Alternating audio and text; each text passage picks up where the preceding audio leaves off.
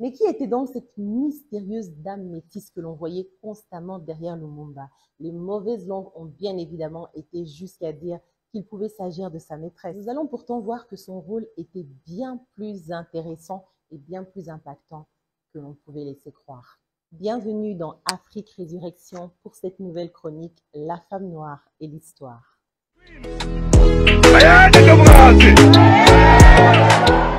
Nous sommes le 19 décembre 1921 dans le village de Bessou, en Ubanguichari, qui deviendra plus tard la République centrafricaine. Une jeune fille de 14 ans à peine, prénommée Joséphine et dont le nom de famille est Wassimba, donne naissance à une petite fille métisse qu'elle a fait avec un homme d'affaires colonial français répondant au nom de Pierre Gerby. La petite se fait prénommer André.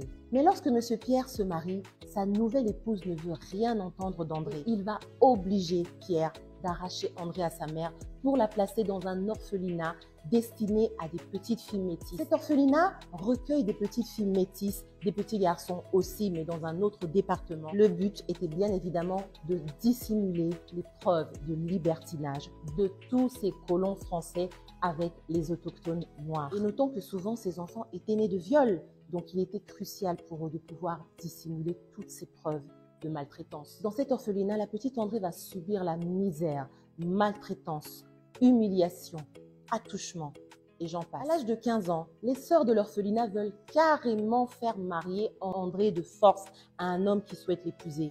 Elle n'est d'ailleurs pas seule dans ce cas. Elles vont décider, entre copines, de fuir de cette maison de misère. André va alors retrouver sa mère Joséphine qui habite dans la capitale. Elle est déjà très consciente de cette discrimination à l'encontre de sa peau.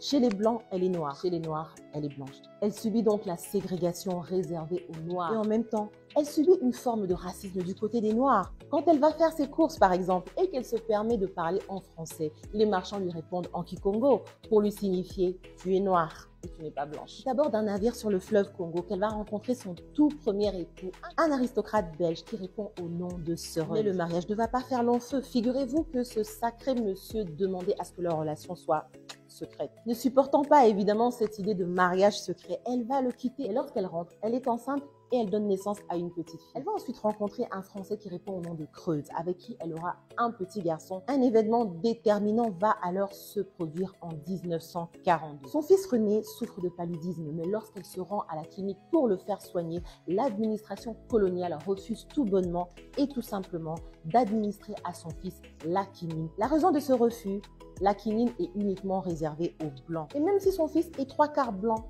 il reste noir. Et on va assister à sa mort lente et douloureuse. Et cet événement va à jamais marquer André. Complètement traumatisée, elle ne veut surtout pas que sa fille subisse le même sort. Elle va donc aller s'installer en France. Lorsqu'elle retourne à Bangui en 1948, elle se rend compte que son mari a déjà quelqu'un d'autre dans sa vie. Elle divorce une seconde fois pour se remarier à un ingénieur français répondant au nom de Bloin. Le traumatisme subi à la mort de son fils la pousse à entrer dans le monde du militantisme. Elle décide alors de se rendre en Guinée pour rencontrer le grand Sékou Touré. Et c'est avec Sékou Touré qu'elle va vraiment apprendre le militantisme. C'est là qu'elle va vraiment apprendre la diplomatie. Elle va également rencontrer d'autres grands noms du militantisme tels que Kwame Nkrumah, du Ghana. C'est une militante hors pair qui fait déjà parler d'elle. Elle devient tellement dérangeante pour les autorités françaises que Charles de Gaulle décide de l'expulser de la Guinée. Elle décide alors de se rendre au Congo, autre pays où le vent de l'indépendance est en train de souffler. C'est là qu'elle va rencontrer le grand Lumumba. On lui confie la branche féminine du PSA, le Parti solidaire africain. Elle va réussir de manière extraordinaire à y inscrire 45 000 partisans. Lumumba décide de faire d'elle le chef de protocole de son gouvernement. Son rôle, c'est d'écrire des discours.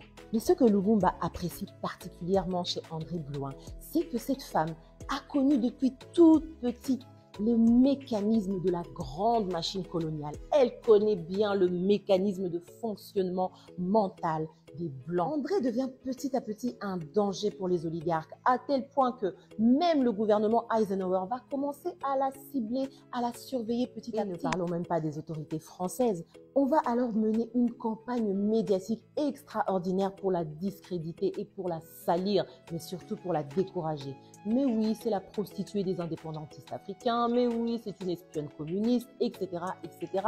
Mais tout cela ne va absolument pas décourager André Blouin, qui va travailler d'arrache-pied aux côtés de Lumumba. Lorsque Lumumba se fait assassiner, André Blouin est condamné à mort. Elle est donc obligée de fuir et va se réfugier en France. Mais même là, sa volonté de continuer à œuvrer pour la libération de l'Afrique ne s'arrête pas. On la consulte pour des conseils, on la consulte pour des encouragements. Et de loin, elle est celle qui veille à cette nouvelle génération de révolutionnaires africains. Jamais André Blouin ne se sera découragé jusqu'à la fin de sa vie.